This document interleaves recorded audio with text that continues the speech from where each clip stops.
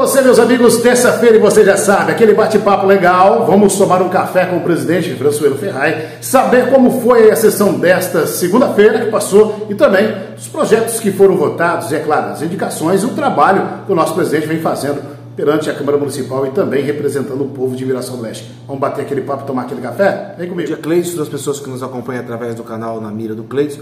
Foi uma sessão muito boa, muito produtiva. Antes da sessão nós tivemos aqui uma reunião é, com o empresário Leandro, né, conhecido como Leandro da Marista, onde nós tratamos sobre o cruzamento da Madalena Marques e da Avenida Presidente Tancredo Neves. Esteve presente é, o vereador Elton, o vereador Doni Dene, o vereador João Galinho, o vereador Laércio, o vereador Romeu, onde nós falamos com o Leandro e na sessão nós apresentamos um requerimento já, Cleiton, é, cobrando do Conselho Municipal de Trânsito é, para que faça uma audiência pública para tratar referente a esse cruzamento da Madalena Marques e também da Avenida Presidente Tancredo Neves, bem como é o projeto de lei que se encontra aqui para tornar a rua Ricardo Luzinhagala em mão única. Né? Então nós aí solicitamos que seja, esse requerimento solicitando que seja feita uma audiência pública para discutir com a população é, a respeito dessa importante via do nosso município.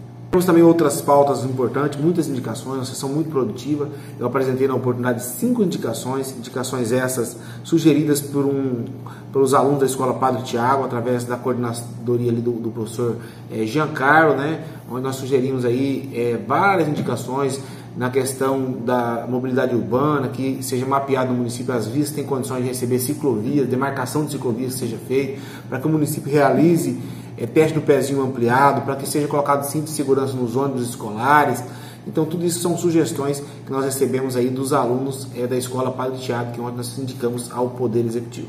Presidente, o pessoal quiser falar com o presidente, fazer uma visita, vir tomar um cafezinho também, que horário que o senhor está aqui atendendo a população e também nas redes sociais? Estou aqui à disposição todos os dias, das 10 às 13 horas, você que queira conversar com o presidente da Câmara, tiver alguma demanda, traga para a gente aqui na Câmara.